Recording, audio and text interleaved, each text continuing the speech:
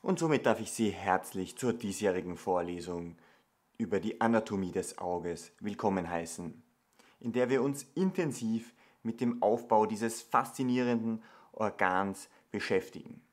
Die Vorlesung wird aufgezeichnet, das heißt, nützen Sie die Möglichkeit, springen Sie zu den Teilen, die für Ihre Prüfungen relevant sind oder spulen Sie zurück, wenn Sie etwas ein zweites Mal ansehen möchten.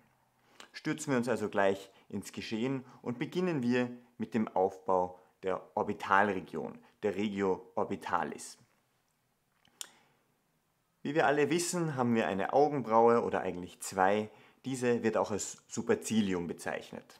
Weiters haben wir ein oberes und ein unteres Augenlid, die auch als Palpebra superior und Palpebra inferior bezeichnet werden. Der mediale Augenwinkel wird als Commissura medialis palpebrarum bezeichnet und der äußere Augenwinkel als Commissura lateralis palpebrarum.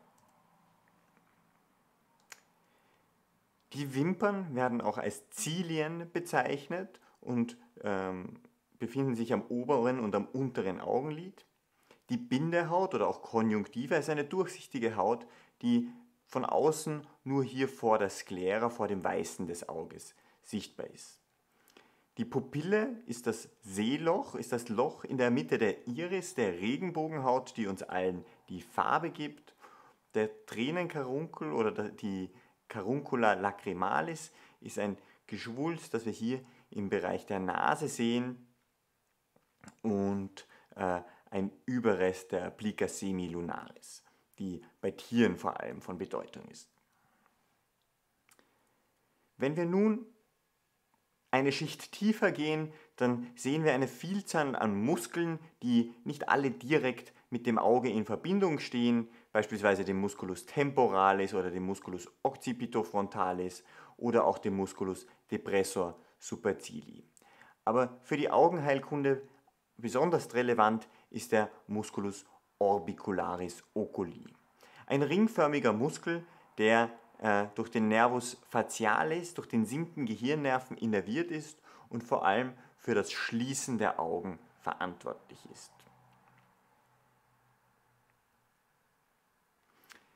Gehen wir noch weiter tiefer, so können wir bereits den knöchernen Rahmen der Augenhöhle der Orbiter ähm, feststellen.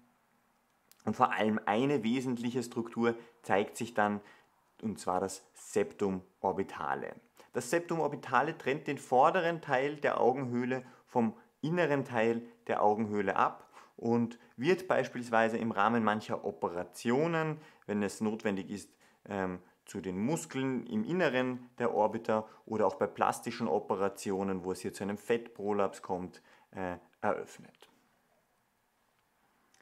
Wir haben hier auch eine Vielzahl an Gefäßen und Nerven, die wir uns relativ leicht merken können, weil sie ihren Namen meistens dem Ort verdanken, äh, an dem sie entspringen, zum Beispiel der Arterien und Nervus supraorbitalis, die am oberen Orbiterrand ähm, die, die knöchernen Strukturen verlassen und ähnlich dazu die Arteria und den Nervus infraorbitalis, die am unteren Rand der Orbiter entspringen.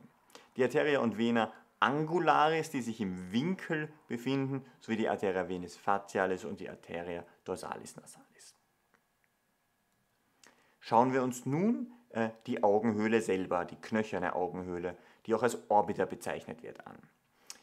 Die Augenhöhle hat ein Volumen von ca. 30 mm, eine Höhe von 35 mm und eine Breite von ca. 45 mm. Die Augenhöhle ist ca. 40 mm tief und nicht rund oder kugelförmig, sondern pyramidenförmig, mit ihrer Spitze hier hinten am Apex. Und die Augenhöhle äh, erfüllt vor allem zwei Funktionen. Einerseits bietet sie einen Schutz für den Augapfel. Äh, das ist auch beispielsweise der Grund, warum hier temporal die Knochen am dicksten sind. Äh, andererseits ist die Augenhöhle mit dem sogenannten intraorbitalen Fett gefüllt ähm, das praktisch als Polsterung äh, für den Augapfel dient. Der Orbiterboden ist der schwächste Teil, also während die, die laterale Wand der stärkste Teil ist, ist der Orbiterboden der schwächste Teil der Orbiter. Und das ist besonders wichtig zu wissen, denn insbesondere bei Orbiterbodenfrakturen oder auch Blowout-Frakturen äh, bricht dieser Teil äh, ein. Es kann zu Schwellung und Bluterguss kommen, es können sich Muskeln in dem Knochen äh, verklemmen. Und es kommt oft zu Doppelbildern, Bewegungsschmerzen, ähm, aber die Prognose ist ähm, unter der richtigen Therapie für die meisten Patienten eigentlich gut. Die Orbita besteht aus sieben Schädelknochen. Und diese sieben Schädelknochen sind oft im Rahmen von Prüfungen abgeprüft, äh, weil es sich einfach sich ergibt zu fragen, welche Schädelknochen äh, sind für den Aufbau des oberen Orbiterrandes verantwortlich, welche Schädelknochen bilden die mediale Orbiterwand und das muss man sich einfach merken, da gibt es eine Menge Merksprüche. Zusammengefasst besteht die Augenhöhle aus dem Stirnbein, dem Os frontale, das auch wesentlich das Orbiterdach bildet, dem Os zygomaticus oder dem Jochbein, das hier temporal äh, wie gesagt, der stärkste Knochen der Orbiterwand ist. Und dieses geht direkt über in das Os maxillare, also den Oberkiefer. Das Os sphenoidale ähm, hat zwei Flügel, einen großen Flügel und einen kleinen Flügel und äh, beinhaltet nicht nur den Canalis opticus, durch den äh, der Sehnerv in das Auge hineinwandert, sondern auch die äh, obere und untere Fissura orbitalis. Das Os ethmoidale ist der dünnste Knochen des Auges und das Os lacrimale, das Tränenbein, ähm, bildet auch den Ausgang für die Tränenwege. Zuletzt haben wir noch das Os palatinum, das Gaumenbein, das äh, hier hinten ähm, einen Teil des Orbiterbodens ähm, bildet. Auch die Öffnungen der Orbiter sind immer wieder prüfungsrelevant. Ähm, dabei wird oft abgefragt, erstens, welche Foramen es gibt, aber auch welche Strukturen durch welches Foramen durchtreten. So haben wir das Foramen ethmoidale anterior und posterior, durch die der Nervus ethmoidalis anterior und posterior wandern.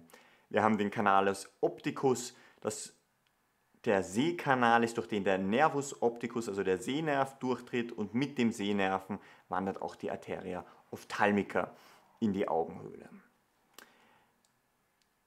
Besonders beliebt sind auch Fragen zur Fissura orbitalis superior, die die Durchstrittstelle für den Nervus oculomotorius, den Nervus trochlearis, den Nervus ophthalmicus und den Nervus abducens darstellt.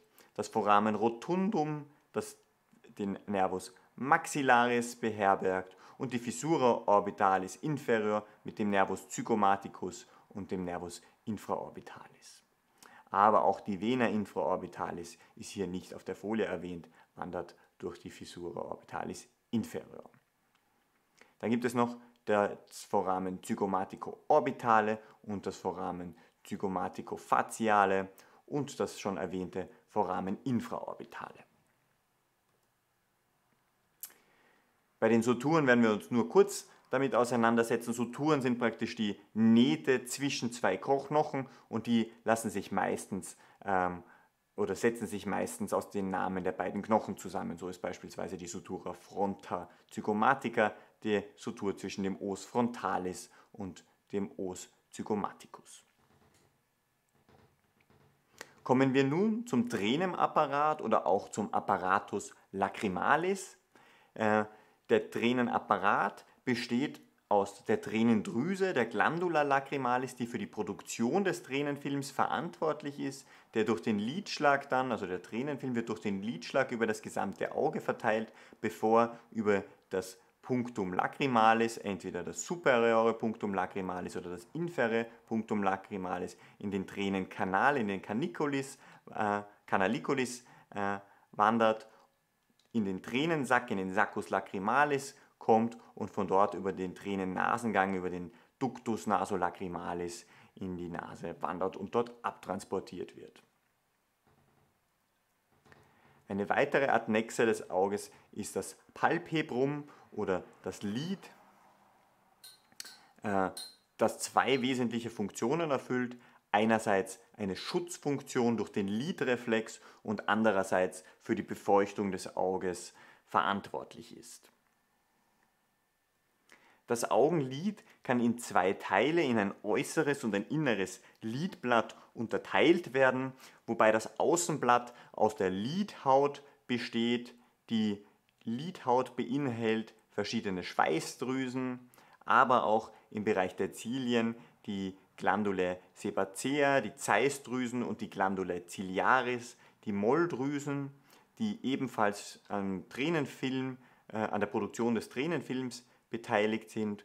Und es gibt auch Muskeln im vorderen Teil des Lides. Das ist einerseits der Musculus orbicularis und andererseits der Musculus levator palpebrae superior, der nur das Oberlid oder der nur im Oberlid vorhanden ist und für eine Hebung des Oberlids verantwortlich ist.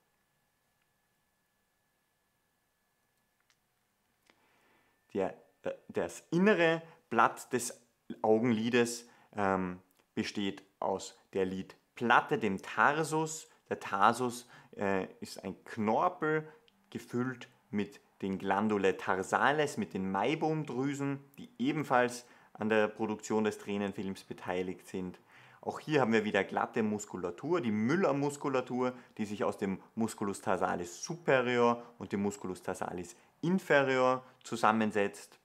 Die glatte, äh, die Müller-Muskulatur wird innerviert durch den Sympathikus und das ist beispielsweise der Grund, weshalb bei äh, Bestehen der Facialis-Parese, äh, nicht Facialis, das ist beispielsweise der Grund, warum beim Horner-Syndrom, bei dem es zu einer Störung der Innervation durch den Sympathikus ähm, kommt, äh, das ist also jetzt der Grund, weshalb es bei einem Horner-Syndrom zu einer Dose, zu einer fehlenden Lidhebung kommt, und zwar einer Dose des oberen und des unteren Lides. Und der innerste Teil äh, ist die Lidhaut, die Konjunktiva tarsi.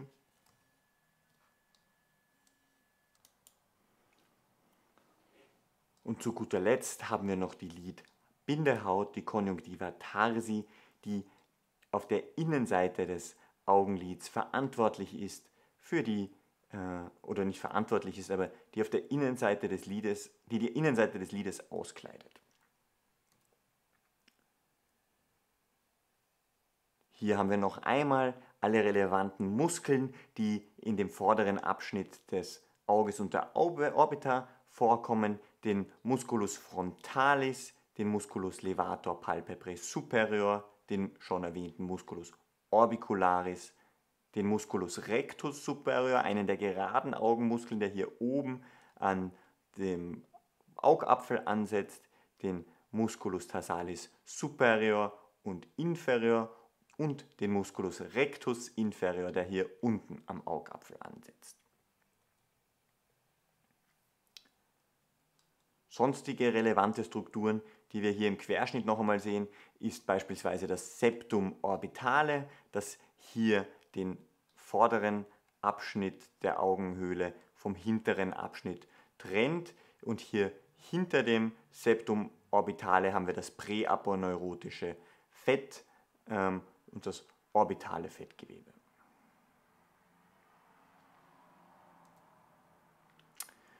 Hier noch eine Übersicht für alle, die das vielleicht in Ruhe lernen wollen. Äh, einfach das Video pausieren und sich in Ruhe anschauen, welche Strukturen man vielleicht selber erkannt hätte.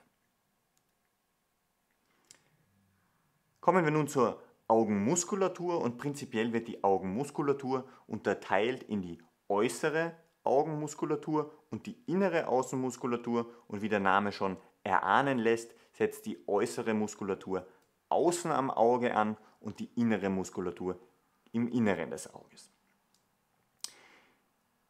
Streng genommen gibt es sieben äußere Augenmuskeln, wobei oft nur von sechs die Rede ist. Der Grund ist, dass der Musculus levator palpebrae superior, der auch hier am Annulus tendineus ansetzt, eigentlich auch einer der äußeren Augenmuskeln ist. Äh, Die Augenmuskeln müssen sich rund 100.000 Mal am Tag in Bewegung setzen und ein kleinster Ausfall oder eine kleinste Fehlstörung dieses Systems führt bereits zu dem, was wir als Schielen äh, bezeichnen. Bei Tieren ist es so, dass es noch eine zusätzliche Nickhaut gibt oder eine Plica semilunaris, die nicht wirklich ein Muskel ist, aber die ein drittes Augenlid ist und eine zusätzliche Bindehautfalte im nasalen Bereich darstellt.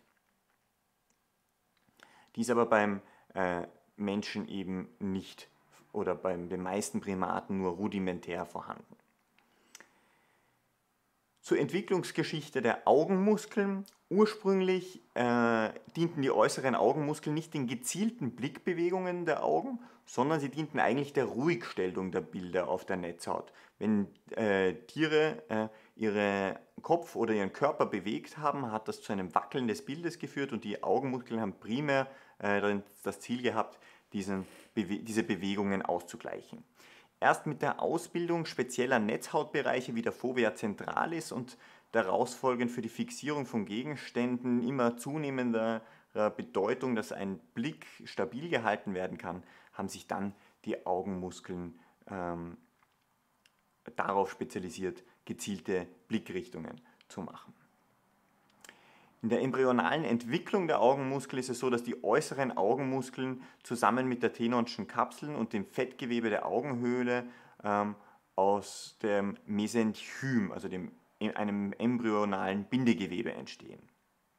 Und ab dem dritten Embryonalmonat wird die weitere Entwicklung von drei Wachstumszentren ausgesteuert äh, und ihnen jeweils ein Nerv zugeordnet. Und erst dadurch entsteht später die Nervenversorgung der Augenmuskeln durch die drei Hirnnerven, die wir gleich sehen werden.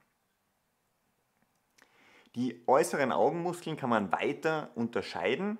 Ähm, und zwar in die geraden Augenmuskeln, das sind hier jetzt die Nummern 1 bis 4, und die schrägen Augenmuskeln 5 und 6. Und die kann man sich relativ einfach merken, weil der Rectus, äh, Musculus rectus superior ist der gerade obere Augenmuskel, der Musculus rectus medialis ist der mittlere Augenmuskel gerade, der Musculus rectus inferior ist der gerade untere Augenmuskel und der Musculus rectus lateralis ist der äußere Augenmuskel.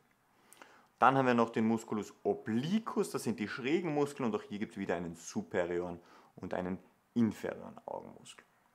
Und wenn wir schon dabei sind, sich das einfach zu merken, die einzige, also mit Ausnahme des Musculus obliquus inferior, ja, also der einzige hier, der Musculus obliquus inferior, ist der einzige von all diesen Augenmuskeln, der nicht seinen Ursprung in der Augenspitze am Annulus tendineus hat.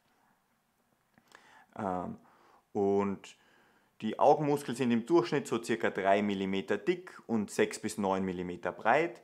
Der längste Augenmuskel ähm, ist der Musculus obliquus superior oder eigentlich nicht der längste, aber er hat die längste Sehne und die wandert eben hier oben nach vorne und wird dann durch die Trochlea umgeleitet und wieder schräg nach hinten, bevor er dann seinen Ansatz am Auge hat. Hier haben wir noch einmal einen Querschnitt, wo wir alle diese Muskeln sehen. Also wir sehen die geraden Augenmuskeln wandern hier gerade äh, zum Auge. Und hier sehen wir noch einmal den Musculus obliquus superior, der hier durch die Trochlea wandert und dann schräg am Auge seinen Ansatz findet. Und der Musculus obliquus inferior ist hier ganz klar, der hat seinen Ursprung hier am Orbiterboden.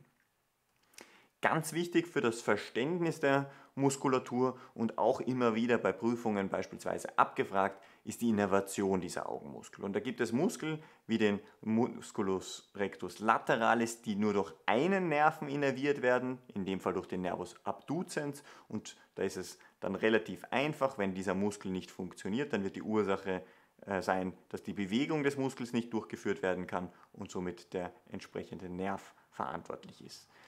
Beim Nervus trochlearis ist es ähnlich, der innerviert auch nur einen Muskel und zwar den Musculus obliquus superior.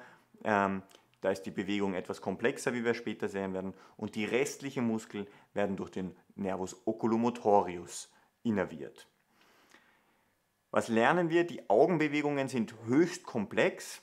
es gibt prinzipiell zwei verschiedene Steuerungsmodi, mit denen die Augen bewegt werden kann. Es gibt die konjugierten Augenbewegungen, bei der beide Augen um denselben Winkel bewegt werden. Und dann gibt es die diskonjugierten Augenwinkeln, äh, Augenbewegungen, bei denen beide Augenwinkel zwar um den gleichen Winkel bewegt werden, aber in entgegengesetzte Richtungen. Beispielsweise, wenn wir auf etwas in der Nähe fokussieren.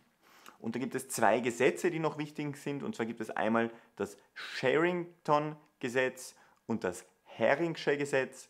Und das Sharrington-Gesetz ähm, betrifft die Innovation eines Auges und das sagt, dass die Innovation eines Antagonisten in dem Maße nachlässt, in dem die des Agonisten zunimmt. Also einfach gesagt bedeutet das, wenn wir ein Auge haben und dann haben wir zwei Muskeln und der, in dem Fall der Musculus rectus media, äh, lateralis und der rectus medialis sind ja Gegenspieler, also Agonist und Antagonist.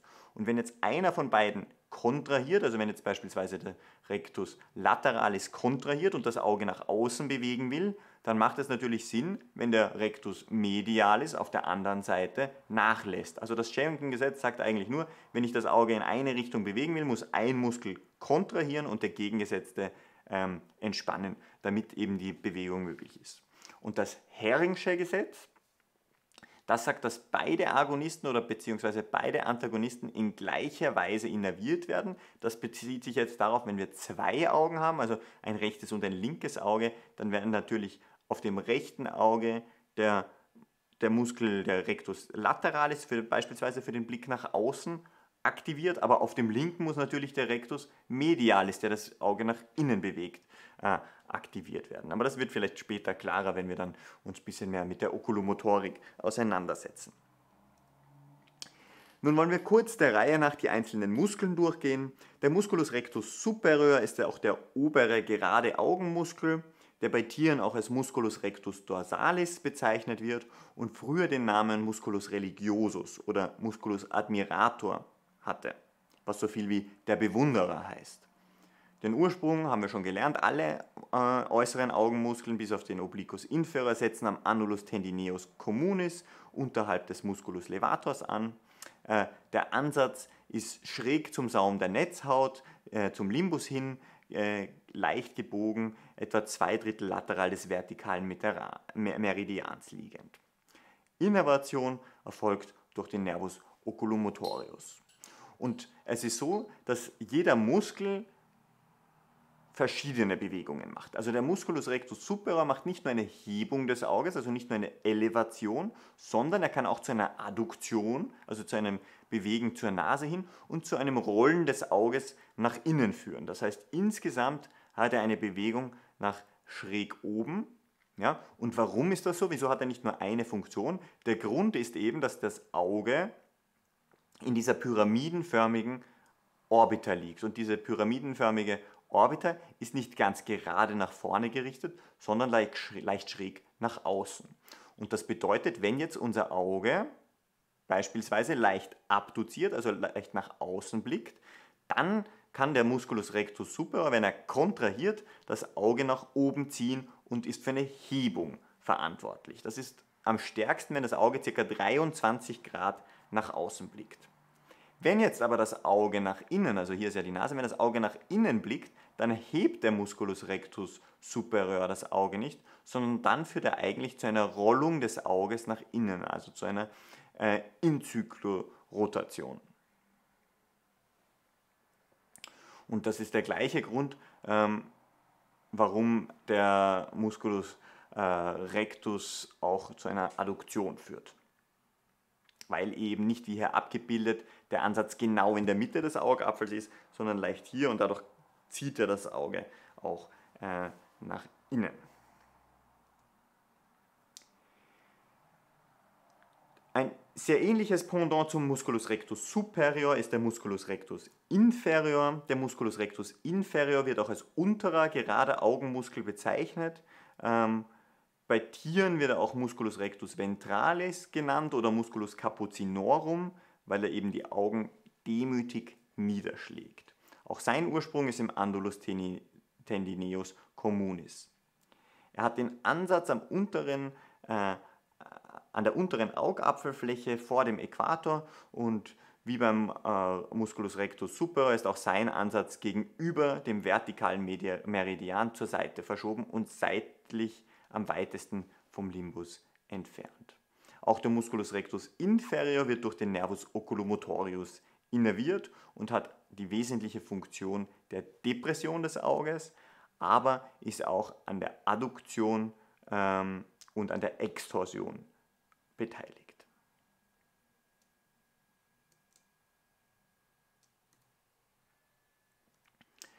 Der Musculus rectus lateralis ähm, wird auch als innerer, äh, wird auch als äh, äußerer gerader Augenmuskel bezeichnet und hat seinen Ursprung ebenfalls am Annulus tendineus communis.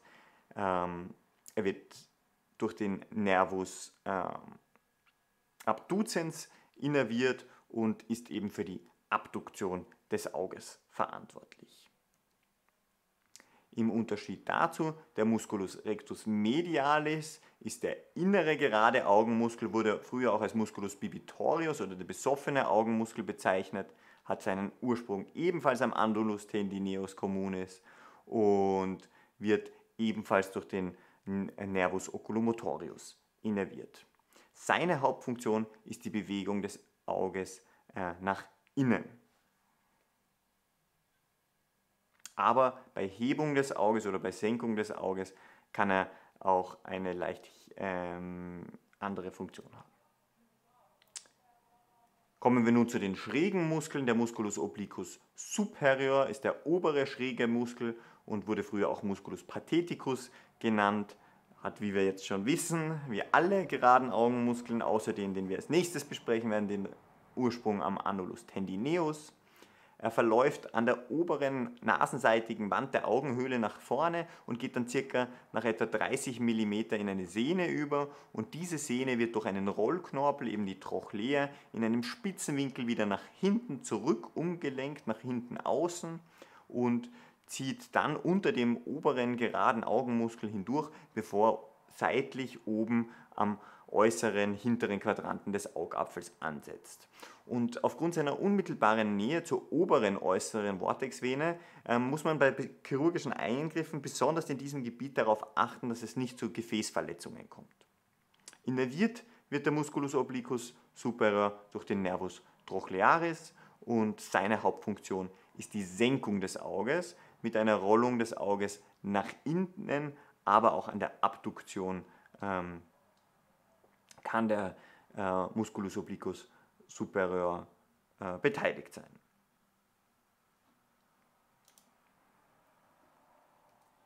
Und dann gibt es noch den Musculus obliquus inferior oder auch den unteren schrägen Augenmuskel, der auch als Musculus amatorii bezeichnet wird, der Muskel der Verliebten. Und der Muskel der Verliebten ist der einzige Muskel, der seinen Ursprung nicht am Annulus ähm, tendineus hat, sondern am Tränenbein, am Os lacrimale, im unteren nasenseitigen Bereich der Orbita.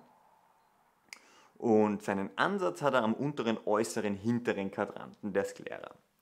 Innerviert wird der Musculus obliquus inferior ebenfalls durch den, Musculus, äh, durch den Nervus oculomotorius und seine Hauptfunktion ist die Rollung des Auges nach außen.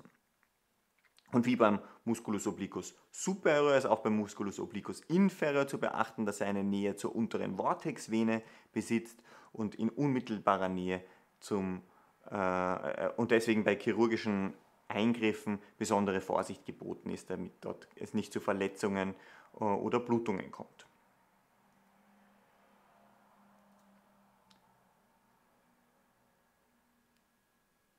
Wie ist die Blutversorgung der äußeren Augenmuskeln? Im Wesentlichen ist es so, dass die Augenmuskel, die äußeren, von Ästen der Arteria ophthalmica versorgt werden.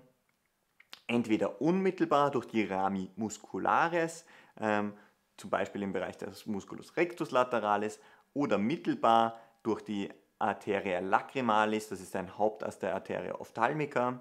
Ähm, die zusätzlich eben durch die Arteria infraorbitalis, den Musculus rectus inferior oder Musculus obliquus inferior versorgt.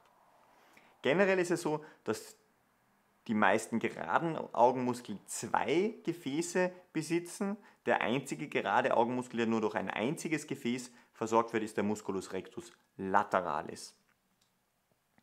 Und die Anzahl und Anordnung dieser Arterien kann aber variieren. Der venöse Abfluss äh, erfolgt durch die Vena ophthalmica, die im hinteren Teil der Augenhöhle als Vena ophthalmica inferior durch die Fissura orbitalis inferior wandert oder als Vena ophthalmica superior durch die Fissura orbitalis superior verläuft und dann in den Sinus cavernosus mündet. Wenn wir uns jetzt nicht die Muskeln individualisiert anschauen und welche Bewegung jeder Muskel für sich macht, sondern anschaut, welche Bewegung welche Muskeln benötigt, dann sehen wir, dass für die Hebung des Auges einerseits der gerade obere Muskel, der Musculus rectus superior, verantwortlich ist und andererseits der Musculus obliquus inferior. An der Adduktion des Auges ist vor allem der Musculus äh, rectus medialis beteiligt, aber auch der gerade obere und untere Muskel sowie der Musculus obliquus inferior sind an der Adduktion beteiligt. Die Rollung des Auges nach innen ist eben abhängig von der Blickrichtung des Auges und wird durch den Musculus rectus superior und durch den Musculus obliquus superior verursacht. Die Senkung des Auges erfolgt hauptsächlich durch den Musculus rectus inferior und den Musculus obliquus superior. Die Abduktion, also das Bewegen des Auges nach außen, erfolgt durch den Musculus rectus lateralis äh, durch den Musculus obliquus superior und durch den Musculus obliquus inferior. Und die Rollung des Auges nach außen erfolgt im Wesentlichen durch den Musculus obliquus inferior, aber auch zu Teilen durch den Musculus rectus inferior. Jetzt gibt es noch einen geraden Augenmuskel, äh, noch einen äußeren Augenmuskel, den Musculus levator palpebrae superioris, der zwar nicht direkt an der Bewegung des Auges beteiligt ist, aber eben als oberer Lidheber äh, verantwortlich ist für die Hebung des Augenlides. Er hat seinen Ursprung auch am Annulus tendinosus in der Nähe des kleinen Keilballflügels oberhalb des Foramens opticus, äh, opticums äh, und seinen Ansatz, der endet eben in einer ausgedehnten Aponeurose, der sogenannten Levator-Aponeurose, die sich in drei Lamellen aufteilt, in eine obere Lamelle, die in das Septum orbitale einstrahlt, in einer mittleren Lamelle, die am oberen Rand der Lidplatte des Tarsus endet und einer unteren Lamelle, die an der oberen Umschlagfalte am Fornix conjunctiva ansetzt. Innerviert wird der Musculus ähm, Levator palpebrae superioris durch den Ramus superior des Nervus oculomotorius und wie wir schon gehört haben, ist er wesentlich an der Hebung des Oberlids ähm, beteiligt. Bei einem Funktionsverlust kommt es zu einer sogenannten Ptose oder einem Herabhängen des Oberlides und ähm, dabei ist auch die Bewegung des Auges oder des Oberlides meistens bei vertikalen Blickbewegungen eingeschränkt. Es gibt dann noch ein paar spezielle Syndrome, wie beispielsweise das Markus-Gann-Syndrom. Das ist eigentlich eine Synkinese, also eine Bewegungsstörung, bei der die Ursache eine Fehlinnervation ist, bei der nicht korrekt durch den Nervus oculomotorius innerviert wird, sondern durch Teile des ähm, Nervus mandibularis und dieser ähm, innerviert auch den Musculus pterygoideus lateralis und das heißt, wenn Patienten ein Markus-Gann-Syndrom haben, dann besteht eine Fehlinnervation. Das heißt, das wird nicht durch den Nervus ähm, oculomotorius innerviert, sondern durch den Nervus mandibularis. Und das heißt, wenn dann der Kiefer bewegt wird, also bei Unterkieferbewegungen, kommt es dann auch zu unwillkürlichen Bewegungen des Augenlides.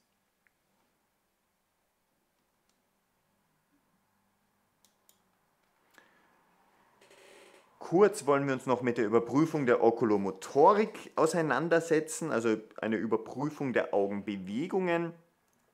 Dabei ist vor allem eine Sache wichtig zu verstehen, nämlich dass man anatomische Bewegungen von den sogenannten Kardinalbewegungen unterscheiden können muss. Anatomische Bewegungen sind praktisch die Bewegungen, in die ein Muskel ein Auge bewegt. Also alles, was wir bis hier besprochen haben, sind die anatomischen Bewegungen. Die Kardinalbewegungen sind jetzt aber die Bewegungen, die ich den Patienten machen lasse, wenn ich überprüfen will, welcher Muskel denn das Problem ist. Weil wir haben ja gesehen, dass an den, an den verschiedenen Bewegungen eine Vielzahl an Muskeln beteiligt ist. Schauen wir uns das anhand eines Beispiels an. Also wir haben gelernt, der Musculus rectus superior kann das Auge heben, er kann das Auge adduzieren und er kann das Auge nach innen rollen. Und wir haben diese Bewegung mit einem Pfeil nach schräg oben, nasal, angedeutet. Wenn ich aber jetzt die Okulomotorik, also die Augenbewegungen überprüfe, dann muss ich zur isolierten Überprüfung einzelner Muskeln den Patienten auffordern, nach temporal außen zu blicken. Warum ist das so? Weil bei der Bewegung nach außen, wie wir schon gelernt haben, also wenn das Auge leicht abduziert ist, dann hat der Musculus rectus superior fast alleine die Aufgabe, das Auge zu heben. Und wenn es beim Blick nach außen, genau genommen um 23 Grad, nicht möglich ist, das Auge zu heben, dann ist vermutlich der Musculus rectus superior die Ursache. Und analog kann man sich das Schritt für Schritt für alle Augenmuskeln durchdenken. Äh, bei manchen ist das ganz einfach, nämlich beim Musculus rectus lateralis ist es immer noch die Bewegung nach außen, die der Muskel hauptsächlich durchführt. Aber bei anderen Bewegungen, wie wir gerade gesehen haben, für den geraden Augenmuskel, den oberen, beispielsweise für den Musculus rectus superior, äh, bedeutet das ein Blick nach oben außen etc. Hier noch einmal zusammengefasst die Kardinalbewegungen in diesem Fall und den jeweiligen Muskel und den jeweiligen Nerven, der damit assoziiert ist. Weil meistens, wenn wir solche Überprüfungen durchführen, wollen wir eigentlich Rückschlüsse darauf führen, welcher Nerv denn die Ursache ist. Wie erfolgt also nun so eine Überprüfung der Okulomotorik?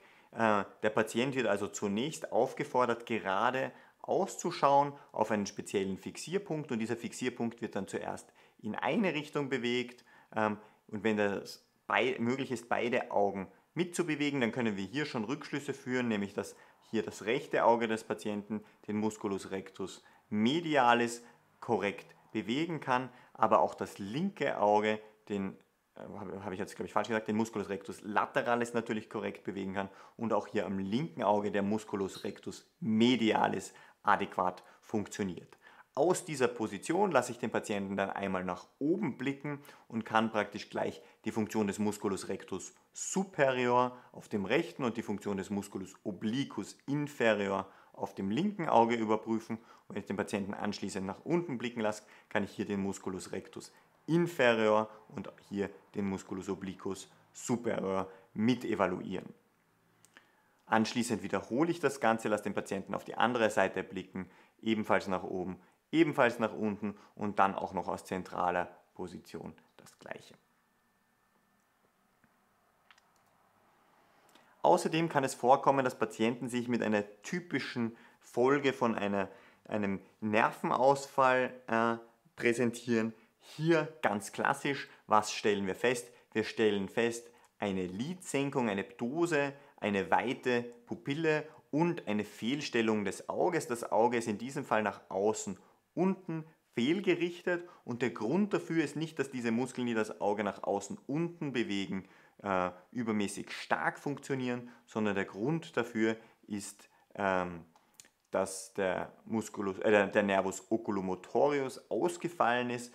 Das heißt, der Nervus oculomotorius ist verantwortlich für den Musculus rectus medialis, der das Auge hier nach medial bewegt, für den Musculus rectus superior, der das Auge nach oben bewegt und somit kommt es zu einem Ungleichgewicht der Kräfte und das Auge wandert zunehmend mehr nach außen. Außerdem innerviert der Musculus oculomotoris den Levator, also den Lidheber und wenn der Nervus oculomotoris ausgefallen ist, dann kann das Lid nicht mehr gehoben werden und der Nervus oculomotoris ist auch für die Muskulatur im Inneren des Auges verantwortlich, zum Beispiel für den Musculus sphincter äh, Und wenn der nicht adäquat funktioniert, dann kommt es zu einer weiten Pupille. Also wir haben hier das ganz klassische Bild einer Oculomotorius-Parese. Und da kann man unterscheiden zwischen einer inneren Oculomotorius-Parese ohne Beteiligung der äußeren Augenmuskeln oder einer äußeren äh, Oculomotorius-Parese, so wie wir das hier sehen. Ein weiteres ganz klassisches Bild ist dieses hier, in dem Fall ausgelöst durch eine äh, Läsion des Nervus trochlearis, also eine Trochlearis-Parese des vierten Gehirnnerven.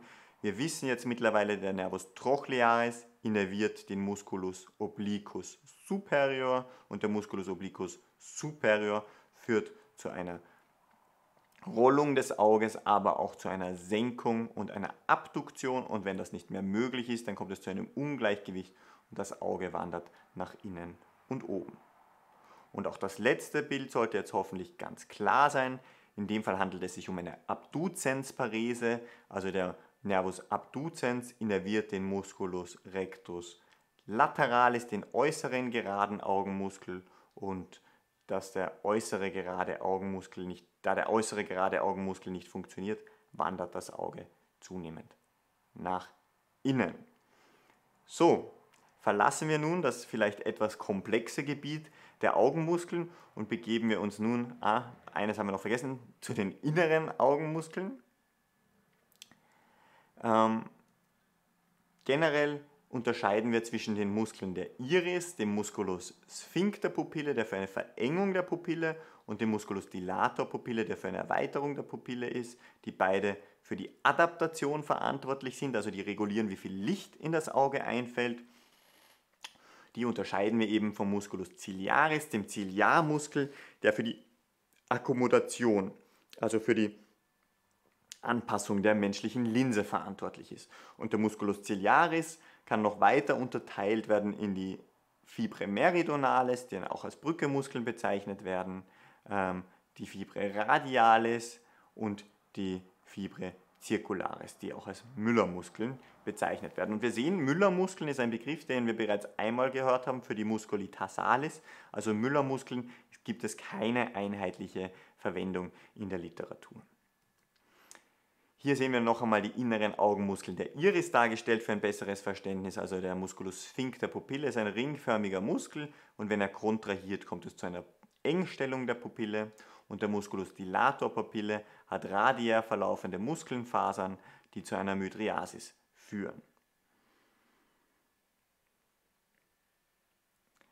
Der Musculus dilator Pupille wird dabei sympathisch innerviert, während der Musculus sphincter Pupille ähm, über parasympathische Fasern und dem Nervus oculomotorius innerviert wird. Die Hauptaufgabe ist, wie wir eben schon gehört haben, äh, die Anpassung an unterschiedliche Helligkeiten.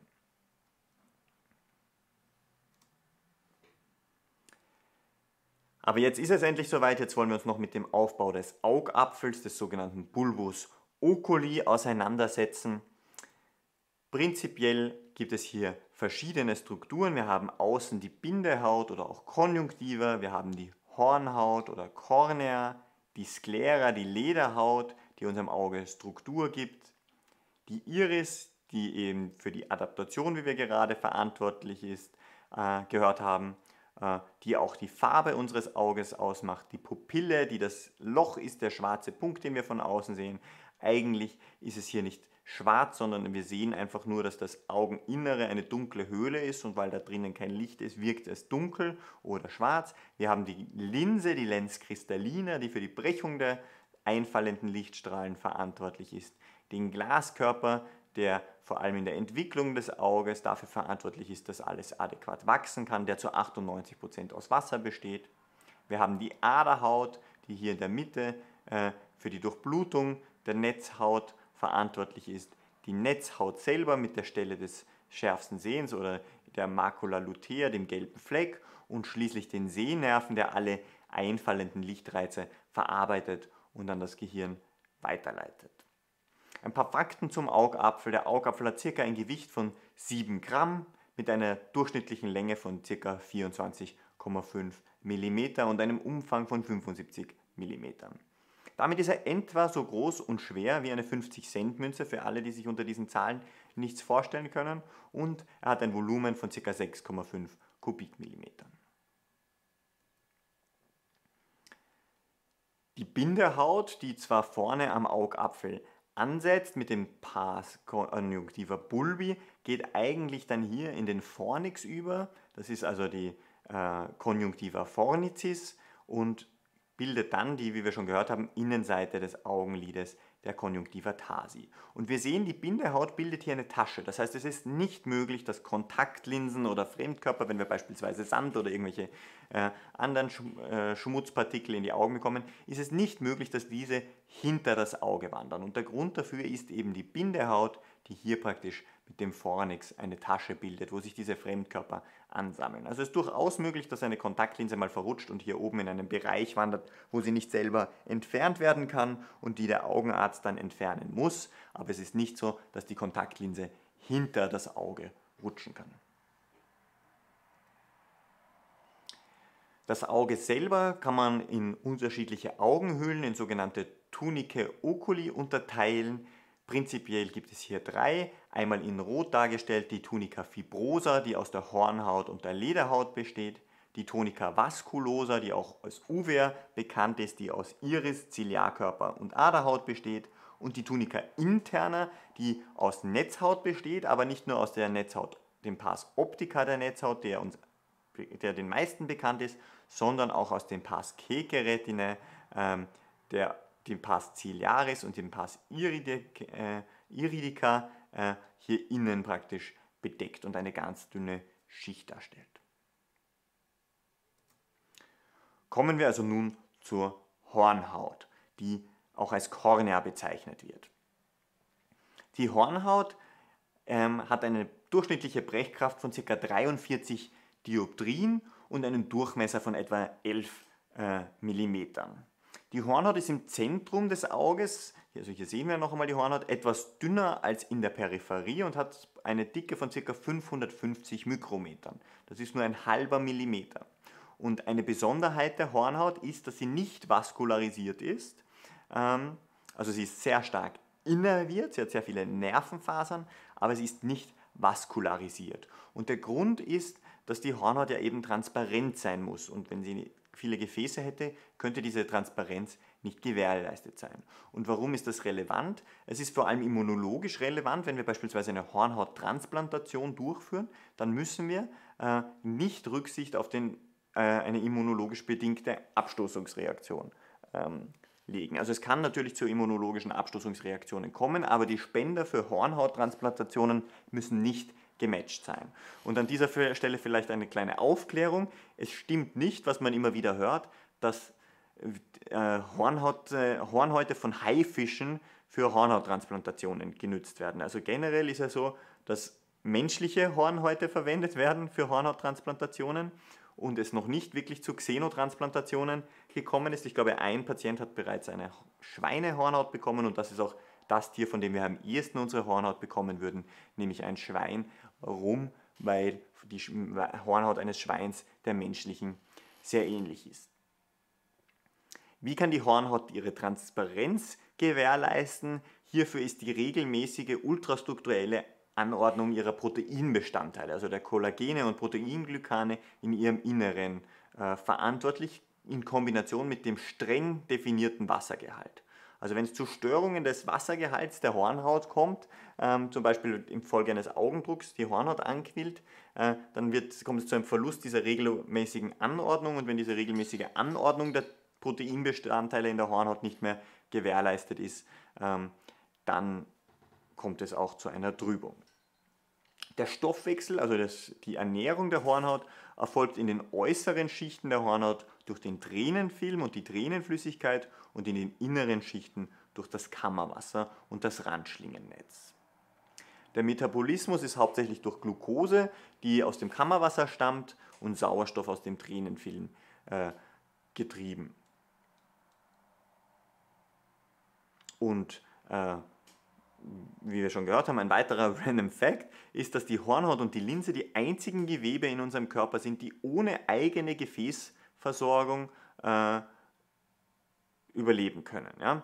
Äh, und ohne Sauerstoff in der Atmosphäre könnte die Hornhaut nicht überleben. Das heißt, wenn wir beispielsweise im freien All unterwegs wären, ja, wo kein Sauerstoff in unserer Umgebung ist, dann würde unsere, All nicht, äh, unsere Hornhaut im All nicht sehr lange überleben.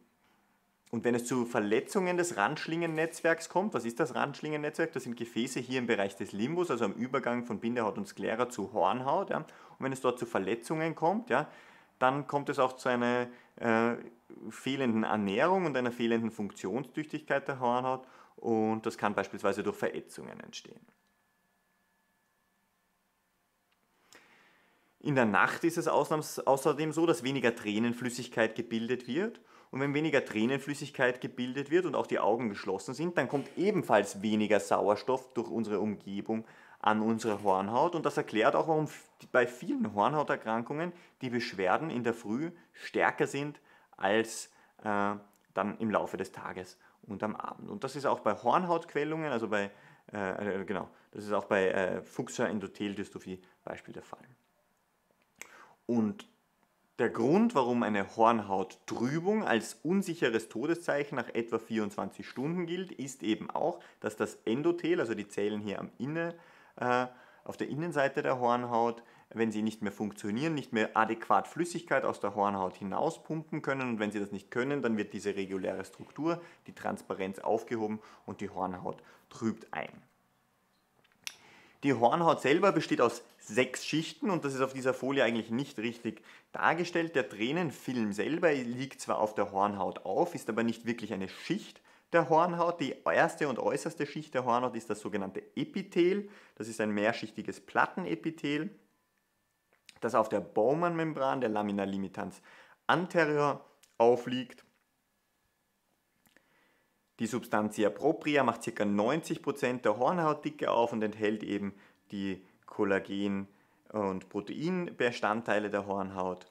Äh, und die Schicht, die eben die sechste und neueste Schicht der Hornhaut ist, ist erst 2013 entdeckt worden von Herrn Dr. Dua Deswegen wird sie auch als Dual Layer oder Prädeszementmembran bezeichnet, ist eine dünne Membran hier vor der Deszementmembran, die auch als Lamina limitans posterior bezeichnet wird. Und auf der Innenseite haben wir dann das Endothel.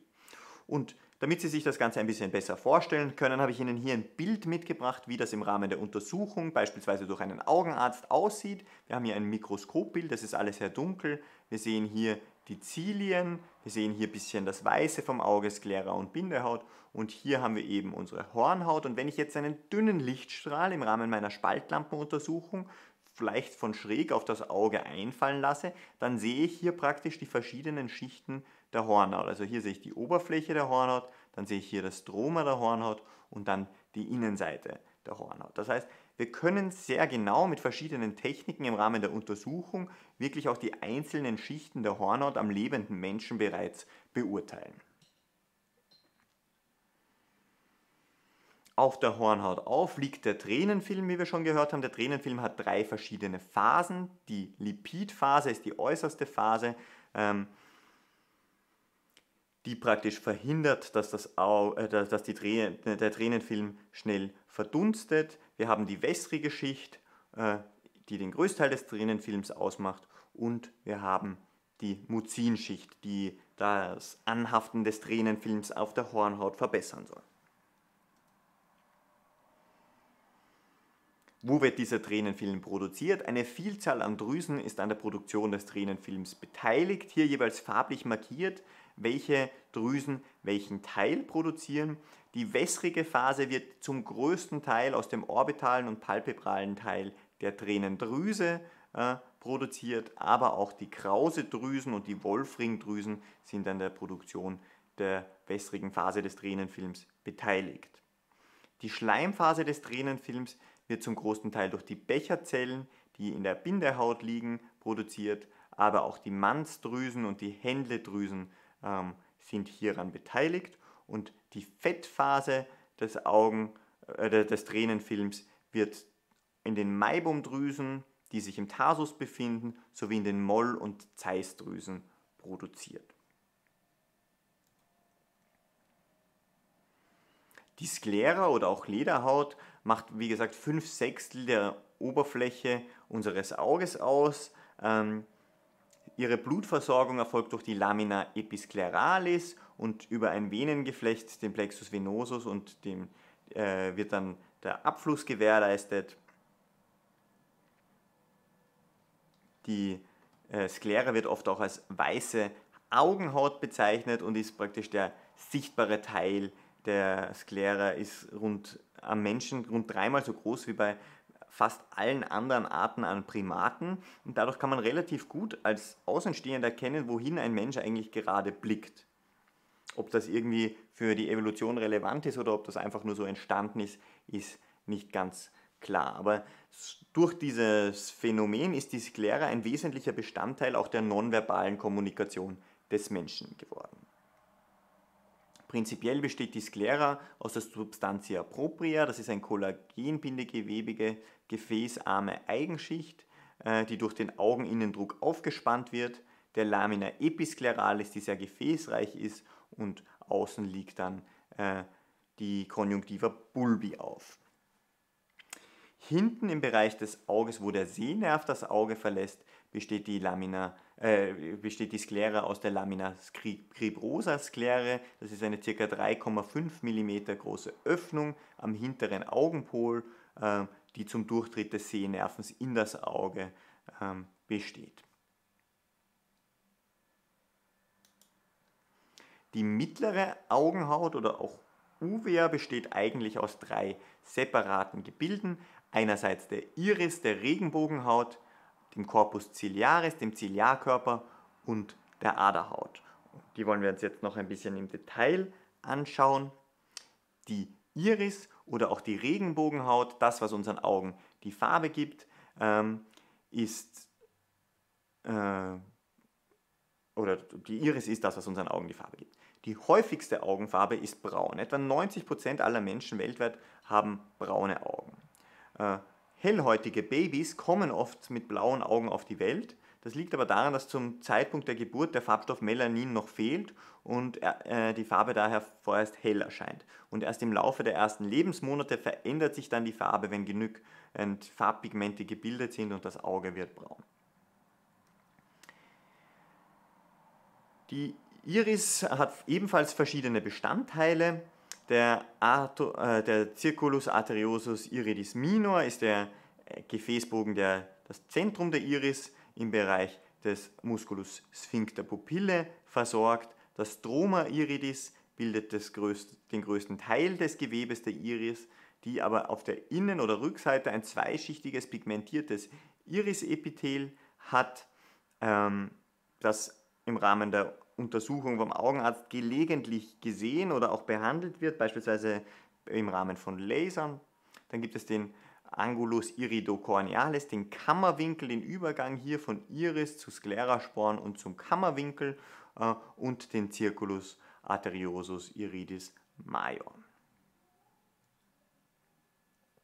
In der Mitte der Iris, also hier haben wir noch einmal die Iris, den farbigen Teil unseres Auges, und in der Mitte der Iris besteht das Sehloch, die Pupille, die für die Adaptation verantwortlich ist äh, und somit eben den Lichteinfall in das Auge reguliert. Damit ist eine Anpassung an plötzliche Wechsel der Helligkeit in der Umgebung gewährleistet. Und um, den, um die Funktion der Pupille besser zu verstehen, müssen wir unterscheiden zwischen der Miosis, also einer Pupillenverengung, und einer Mydriasis. Für die Miosis, also für die Engstellung der Pupille, gibt es eine Afferenz, das heißt, wir haben jetzt hier Licht, was in unser Auge einfällt, von unserer Netzhaut verarbeitet wird und von der Netzhaut über den Sehnerven, den Nervus opticus und den Tractus opticus äh, zum, zuerst zum Chiasma und dann hier in den Epithalamus, in die prätektalen Nuklei weitergeleitet werden. Das heißt, die Afferenz ähm, ist die Leitung von der Netzhaut zum Gehirn, einfach zusammengefasst.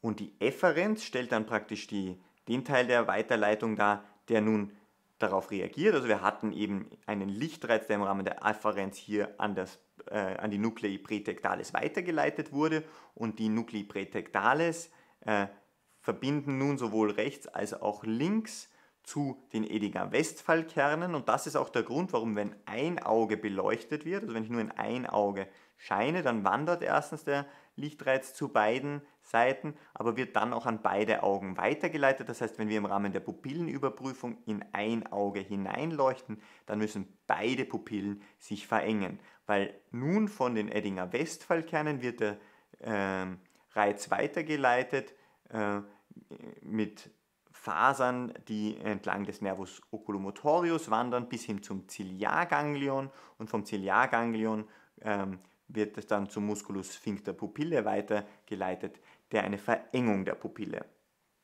verursacht. Also das war die Reizleitung der Myose, der Pupillenverengung. Ein bisschen anders schaut es bei der Mydriase aus, also bei der ähm, äh, Reizweiterleitung für die Weitstellung der Pupille. Hier stammt das Signal aus dem Hypothalamus, wandert dann entlang des Rückenmarks ins Zentrum ciliospinale äh, in der Höhe der Rückenmarksegmente C8 und TH3. Von dort aus wandert es, über das, äh, wandert es zum Ganglion cervicale superiors ähm, und erst von hier dann äh, bis hin zum Musculus dilator Pupille. Und führt zu einer Weitstellung der Pupille. Hier haben wir noch eine zweite Darstellung, wo man das noch einmal genau das gleiche sehen kann. Also der Reiz wird vom Hypothalamus hinunter zum Zentrum ciliospinale geleitet, wandert hier äh, entlang des präganglionären Ganglions, äh, Neurons zum Ganglion cervicale superior und ist hier in relativer Lungennähe, das ist auch der Grund, warum verschiedene Lungentumore äh, zu einem Ausfall der äh, Mydriase führen können. Und vom Ganglion äh, cervicale superior wandert dann das postganglionäre Neuron weiter eben zum Musculus dilator Pupille.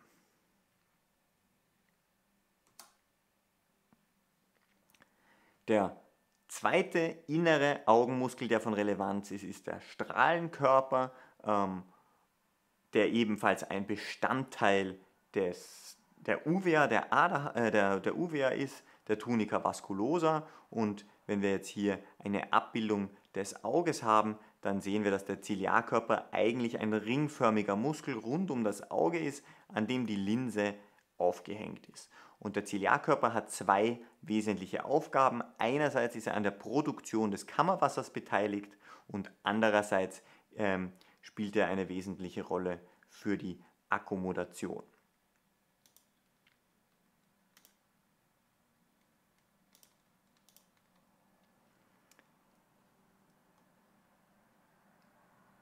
Wie sieht das Ganze aus? Wir haben hier einen Teil der hinteren Augenkammer, der sogenannten Kamera bulbi.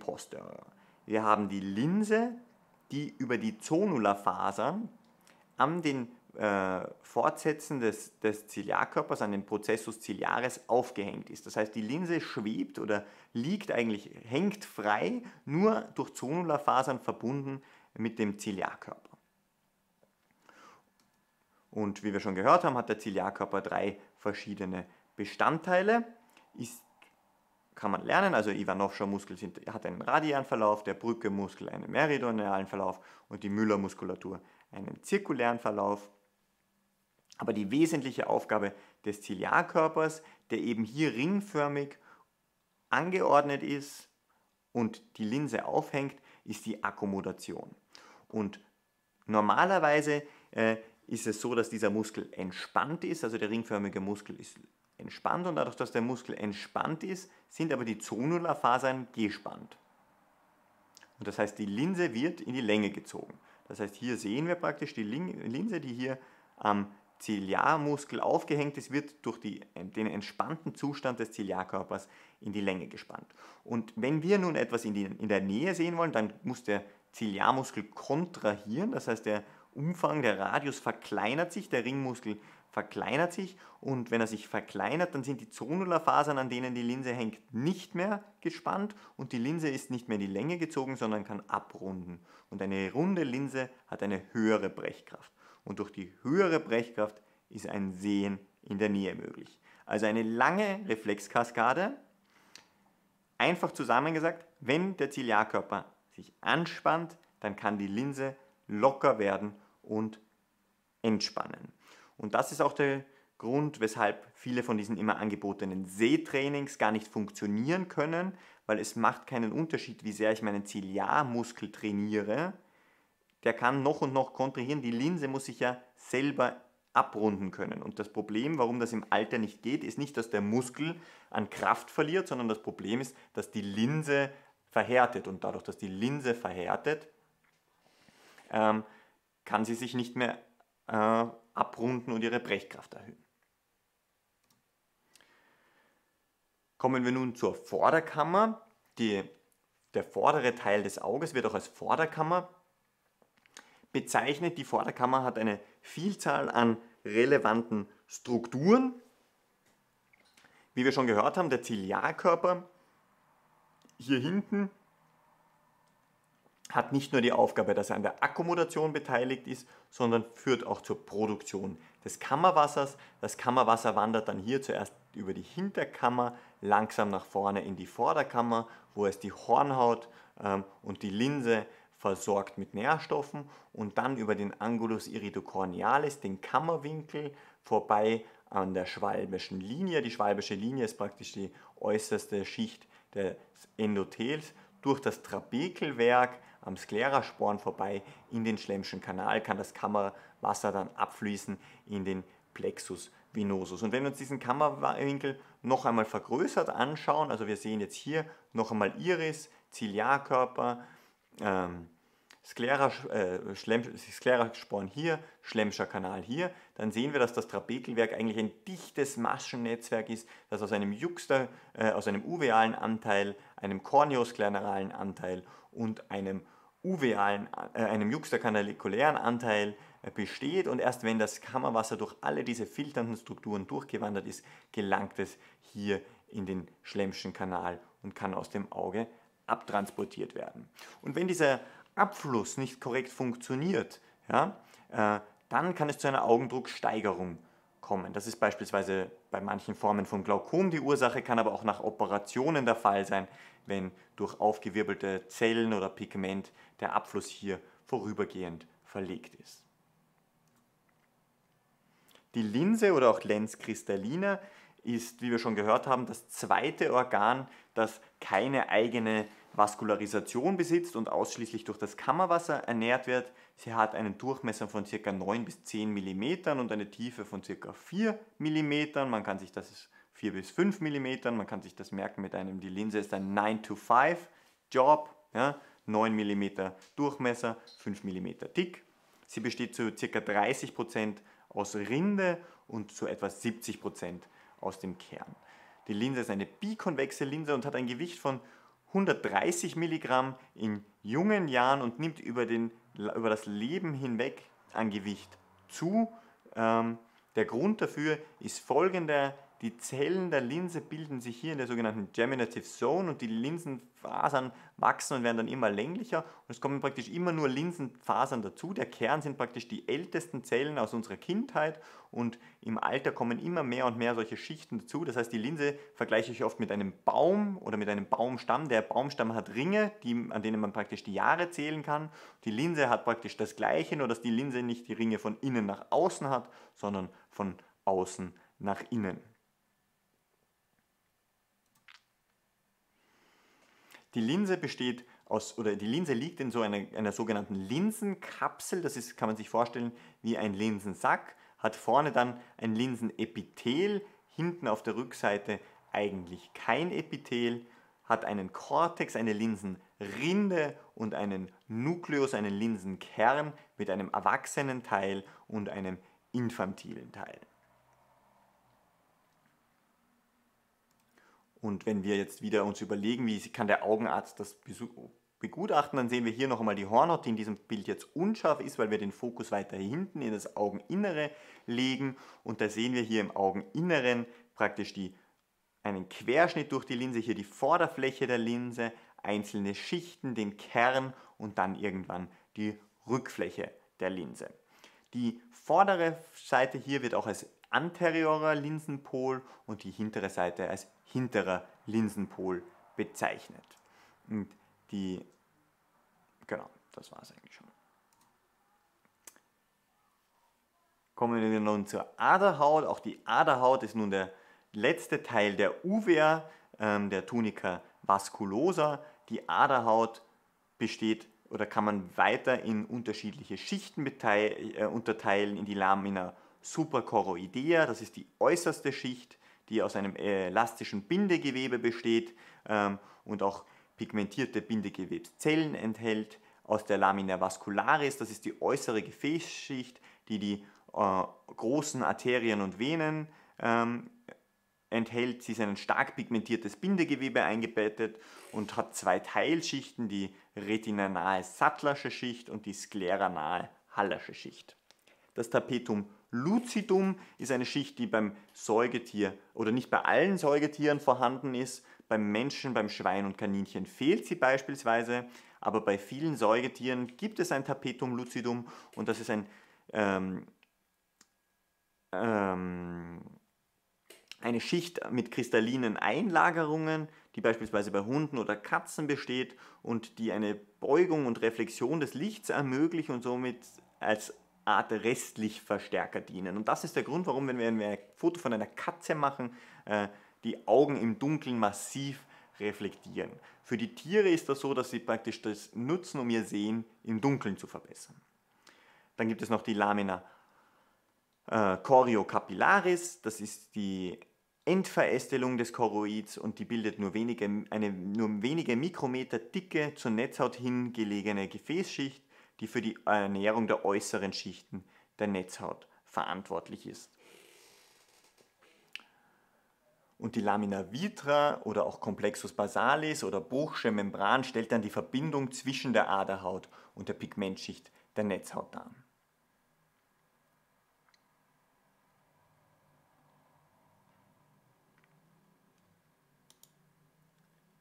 Kommen wir nun zur Netzhaut oder Retina, die sich vom lateinischen Wort rete, Netz, ableitet und praktisch die innerste Schicht des Auges ableitet. Ähm, dabei ist es noch wichtig, wenn ich jetzt von es liegt außen an der Netzhaut, äh, dann meine ich eine Schicht, die praktisch zur Außenseite des Auges hin geneigt ist. wenn ich sage innen, das sind die inneren Netzhautschichten, dann sind das die Schichten, die an der Innenseite liegen. Und die Netzhaut funktioniert so gut, dass bereits ein einzelnes Photon einen Lichtreiz auslösen kann, wenn er auf einen Fotorezeptor fällt. Die Netzhaut ähm, besteht ebenfalls aus verschiedenen Bestandteilen. Es gibt den Pars Keke-Retine, also das ist der Teil, der nicht optisch aktiv ist, der hier eben die Innenseite von Iris und Ziliarkörper auskleidet. Die Ora serrata, das ist praktisch der Übergang vom optischen Teil zum Pars Keke der Netzhaut. Dann haben wir den Pars optica, der Teil der Netzhaut, der Licht verarbeiten kann, mit der sogenannten Macula lutea, mit dem gelben Fleck. Ähm, das ist praktisch der Bereich des schärfsten Sehens und die Stelle des wirklich schärfsten Sehens ist dann die Fovea centralis. Die Papille ist der Eintritt oder Austritt des Sehnerven, wird auch als Sehnervenkopf bezeichnet und der Nervus opticus, der zweite Gehirnnerv, leitet praktisch die Lichtreize nach außen. Hier sehen wir noch einmal eine vergrößerte Darstellung von diesem Übergang. Also wir haben hier praktisch den Pars optica der Netzhaut und hier eben an der Innenschicht des Ziliarkörpers den Pars Keke Retine, der sich in einen Pars iridica Retine und einen Pars Ciliaris Retine unterteilen lässt. Und im Rahmen der Untersuchung als Arzt hat man einen Blick wie diesen hier, wo man praktisch von vorne auf die Rückseite des Auges hineinschaut. Also wir haben jetzt keinen Querschnitt, sondern wir schauen hinein und dann sehen wir hier groß, ringförmig den Sehnervenkopf, die Papilla nervi optica, die auch als blinder Fleck bezeichnet wird, weil in diesem Bereich kann kein Licht verarbeitet werden. Aus ihr treten die Arterien, äh, Arteria und Vena centralis retinae. Hier in dieser Abbildung auch zu sehen ist äh, eine Besonderheit, eine cilioretinale Arterie, das ist eine zusätzliche Arterie, die einen Teilbereich der Netzhaut versorgen kann. Wir haben die Macula lutea, den gelben Fleck mit der Seegrube in der Mitte der Fovea centralis. Genau. Der Grund, warum die Macula lutea als gelber Fleck bezeichnet wird, liegt an den eingelagerten Carotinoiden, Lutein und Zeaxanthin, die die Aufgabe haben, energiereiches Licht zu filtern und somit die Netzhaut vor starker UV-Strahlung und photooxidativen Schäden zu schützen. Und die foveale Senkung ist ein, ähm, eine Vertiefung in diesem Bereich, äh, die Seegrube, wo praktisch die höchste äh, Dichte an Photorezeptoren liegt. Nur kurz, die Gefäße der Netzhaut werden weiter unterteilt in ihre Äste und eigentlich ist es relativ einfach. Alle Äste, die im oberen Bereich liegen, sind superiore Äste. Alle Äste, die im unteren Bereich liegen, sind inferiore Äste. Alle Seiten, die temporal liegen, sind temporale Äste und alle Äste, die medial liegen, sind mediale Äste. Das heißt, wenn wir jetzt hier 2a anschauen, dann sehen wir, Blut in Arterien ist einerseits heller und außerdem sind Arterien etwas dünner als Venen. Das heißt, bei 2a handelt es sich um die Arteria temporalis retinae superior. Wie ist das also, wenn ich jetzt als Augenarzt das anschaue? Ich nütze ein Mikroskop und mit Hilfe des Mikroskops kann ich praktisch in das Innere des Auges hineinschauen und sehe dann alle diese Strukturen, die wir gerade besprochen haben. Ich sehe hier den Sehnerven, ich sehe hier Arterien, Venen, die Makula und den gelben Fleck. So sieht das Ganze also aus. Und wenn wir uns jetzt hier in einem Teilbereich hineinzoomen und doch noch einmal einen Querschnitt anschauen, also wir haben jetzt hier wieder das Auge mit der Rückseite und wir schauen uns hier einmal die Schichten an, dann haben wir hier die sogenannten Schichten der Netzhaut die von innen nach außen, also innen wieder hier im Inneren des Auges, zuerst die Lamina limitans interna, die dann in das äh, Stratum neurofibromatorum, also in die Nervenfaserschicht übergeht. Das sind praktisch die Nervenfasern, die hier die äh, empfangenen Impulse weiter an das Gehirn leiten. Äh, mit der Ganglienzellschicht, das heißt die Nervenfaserschicht wandert hier in die Ganglienzellschicht über, bildet dann in der inneren plexiformen Schicht Synapsen zwischen Axonen und Dendriten zu den bipolaren Zellen, ähm, die auch als Stratum nucleare interior äh, bezeichnet wird. Und die Bipolarzellen wiederum verknüpfen sich zu den Photorezeptoren, bildet hier noch einmal ein Stratum plexiforme, in diesem Fall externum, also eine äußere äh, plexiforme Schicht, eine äußere Körnerschicht, dann gibt es eine Lamina limitans externa, die auch teilweise aus Müllerzellen, teilweise hier äh, im Bereich der Photorezeptoren gebildet wird. Und dann haben wir die Photorezeptor-Außensegmente, die ganz außen dann auf das retinale Pigmentepithel treffen. Das heißt, wie funktioniert also nun die Weiterleitung des Lichts? Wenn jetzt ein Photon hier in das Auge hineinwandert, dann durchdringt es erst alle Schichten, bis es hier auf einen Photorezeptor trifft. Wir haben zwei Arten von Photorezeptoren. Es gibt die Zapfen, die hauptsächlich für das Hell-Dunkel-Sehen verantwortlich sind und meistens so verschalten sind, dass mehrere Zapfen, so wie hier, aktiviert werden müssen, um ein Signal auszulösen. Und es gibt die Stäbchen, die für das Farbsehen verantwortlich sind, die etwas ähm, äh, die, jetzt habe ich es verwechselt, es gibt die Stäbchen, die für das Hell-Dunkel-Sehen verantwortlich sind. Und es gibt die Zapfen, die für das Farbsehen verantwortlich sind. Und äh, das heißt, ein Lichtreiz trifft jetzt hier beispielsweise auf einen Zapfen, ein Zapfen kann eine Farbe erkennen, wird dann über eine bipolare Zelle weitergeleitet an eine Nervenfaserzelle, ähm, die dann den Reiz weiter über den Sehnerven in das Gehirn zur Verarbeitung leitet. Und wenn wir uns das jetzt anschauen, wie diese Zellschichten mit, einem, mit unserer Netzhaut ähm, übereinstimmen, wir haben hier eine optische Kohärenztomographie, eine OCT-Aufnahme und dann sehen wir eben hier noch einmal diese Schichten. Also wir haben hier den Sehnerven abgebildet mit der Nervenfaserschicht. Hier haben wir die Stelle des schärfsten Sehens, die Fovea und hier äh, die helle Linie, die das retinale Pigment oder eigentlich das, äh, hier die helle Linie, die das retinale Pigmentepithel darstellt. Die Netzhaut hat aber zusätzlich noch andere Zellen, die als stützende Zellen ähm, fungieren. Wir haben die amakrinen Zellen, die noch nicht ganz eindeutig geklärt, wobei, wo, bei denen noch nicht ganz eindeutig geklärt ist, was ihre Funktion ist, ob sie an der Signalmodifikation eventuell beteiligt sind. Dann gibt es die horizontalen Zellen, äh, die eine seitliche Verschaltung und eine laterale Hemmung verursachen. Und dann gibt es die Müllerzellen, die die zweithäufigste Komponente der Netzhaut darstellen.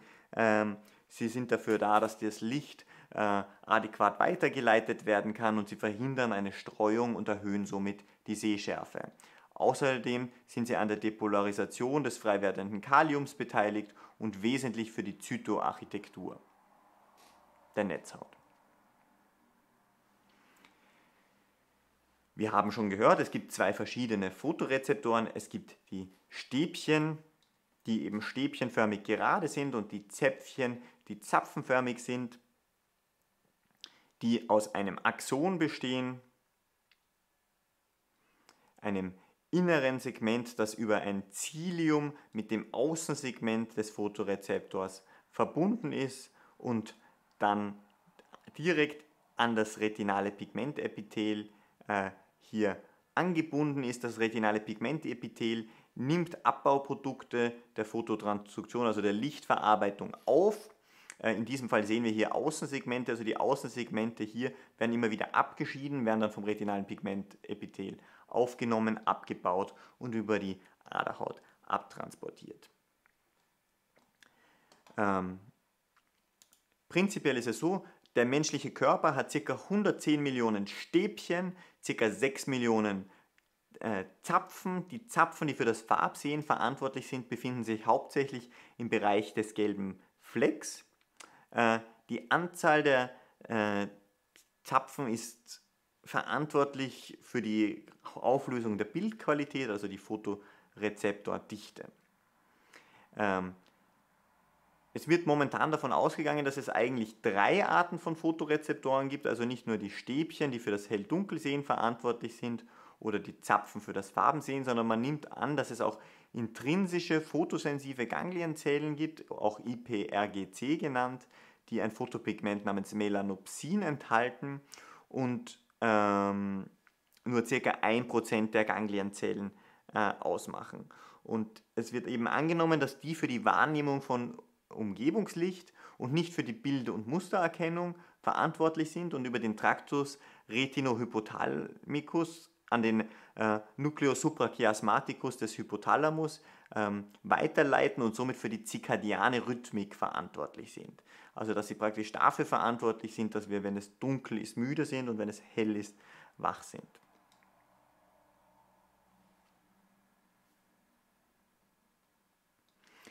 Zusätzlich ist es so, dass wir Menschen Trichromaten sind, das heißt, wir haben drei verschiedene Arten von Zapfen. Das heißt, wir können Rot, Grün und Blau unterscheiden. Und äh, die Zapfen sind insgesamt etwas weniger lichtempfindlich als die Stäbchen, das heißt, es verändert sich auch unser Farbempfinden bei Nacht. Das nennt man auch Purkinje-Effekt. Äh, es stimmt also das Sprichwort, dass nachts alle Katzen grau sind. Ähm, also wie gesagt, es kann bereits ein einzelnes Photon ein Stäbchen aktivieren. Äh, so lichtempfindlich sind die Stäbchen, die für das Hell-Dunkel-Sehen verantwortlich sind. Allerdings ist es so, dass wir es wahrscheinlich trotzdem nicht aktiv in unserem Gehirn wahrnehmen würden, weil es meistens so ist, dass für die äh, äh, Entstehung eines Signals mehrere Lichtzellen gleichzeitig aktiviert werden müssen. Ähm, beim Auftreten eines Photons auf das in Membranstempel der Fotorezeptoren eingelagerte Sehpigment, zum Beispiel Rhodopsin, erfährt das eine Konformationsänderung. Und durch diese Konformationsänderung kommt dann eine, wird eine Enzymkaskade ausgelöst, die auch als visuelle Signaltransduktionskaskade bezeichnet wird und die schließlich zu einer Aktivitätsänderung in der Nervenzelle ähm, führt. Also lange Rede, kurzer Sinn. Wie funktioniert nun die Lichtreaktion? Ein Photon trifft auf äh, das Außensegment eines Photorezeptors, wird hier durch ein Pigment oder verändert hier die Form eines Pigments und das führt dazu, dass schließlich ein äh, elektrischer Reiz ausgelöst wird und weiter an das Gehirn geleitet wird. Wie funktioniert also diese Weiterleitung? Die Weiterleitung funktioniert über den Sehnerv. Und der Sehnerv ist ca. 4 mm dick, 4,5 cm lang und hat etwa eine Million Nervenfasern. Die genaue Angabe zu den Nervenfasern variiert ein bisschen. Ähm, er besteht, äh, liegt 15 Grad NASA circa von der optischen Achse ja, und wandert eben hier als Sehnerv bis zum Chiasma opticum.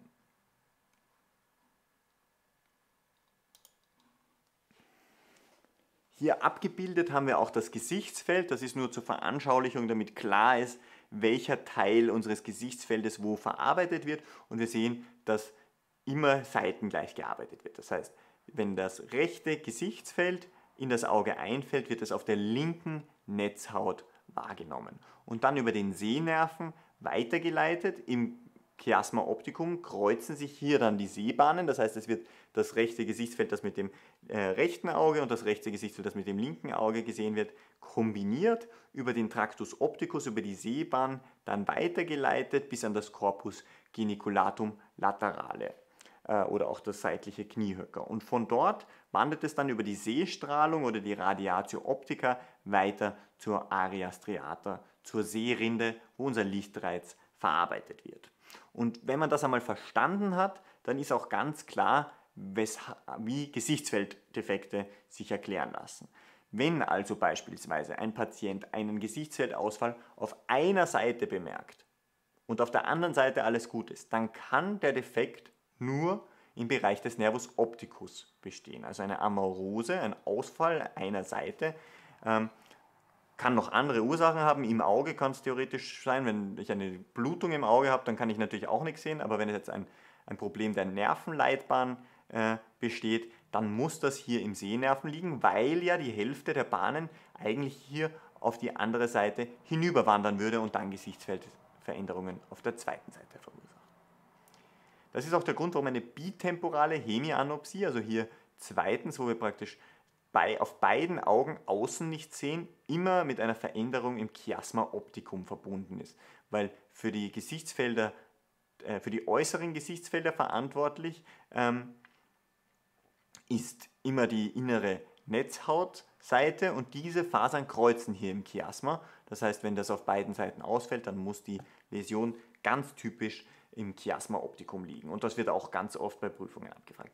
Wenn es jetzt nur zu einer einseitigen Hemianopsie kommt, also zu einer unilateralen Hemianopsie, dann muss der Defekt perichiasmal liegen.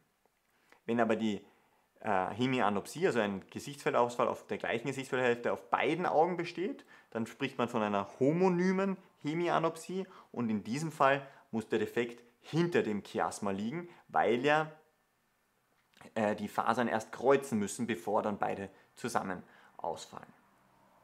Quadrantenanopsien sind jetzt anhand dieser Darstellung hier schwerer nachzuvollziehen, aber wenn man sich das mal in einem Querschnitt anschaut, dann ist das auch klarer, weshalb eine superiore Quant äh, Quadrantenanopsie durch einen Ausfall der vorderen Schleife ähm, entsteht und eine inferiore Quadrantenanopsie durch einen Ausfall der inneren Sichtstrahlen besteht. Und im Rahmen einer homonymen Hemianapsie, bei der das Zentrum noch vorhanden ist, befindet es sich oft der, der, die Läsion in der Area striata, weil das zentrale Sehen wirklich hier am posteriorem Ende des Occipitallappens liegt. Der Nervus opticus noch einmal, also wandern wir jetzt wieder zum Sehnervenkopf und zum Auge zurück, hat hier die Netzhaut, die praktisch die Papille, den Sehnervenkopf bildet. Die Sehnerven müssen hier durch die Lamina cribrosa, die Siebplatte, wandern. Im Inneren des Sehnerven befindet sich die Arteria centralis retinae, die auch die Netzhaut in ihrem Inneren versorgt. Und der Sehnerv ist umgeben von Hirnhäuten, von Meningen äh, und bildet somit eigentlich nur einen vorgestülpten Teil unseres Gehirns. Auch die Durchblutung des Sehnervenkopfes und der Netzhaut ist spannend. Ähm, die Arteria ophthalmica bildet dann die Arteria centralis ähm, Retine, die hier in das Auge hineinwandert. Ich glaube, hier ist eine äh, Verwechslung in der Nummerierung. Also die Arteria centralis retine ist natürlich hier im Zentrum des Sehnerven. Dann haben wir hier die posterioren Ziliararterien, die sich in kurze Äste und in lange Äste unterscheiden. Und hier wiederum ein Bild, wie der Sehnervenkopf ausschaut, wenn wir den im Rahmen der Untersuchung anschauen. Wir können natürlich nur den inneren Teil sehen und nicht ähm, aus dem Auge hinaus. Man kann hier oft kleine punktförmige Veränderungen im Rahmen der Lamina cribrosa erkennen.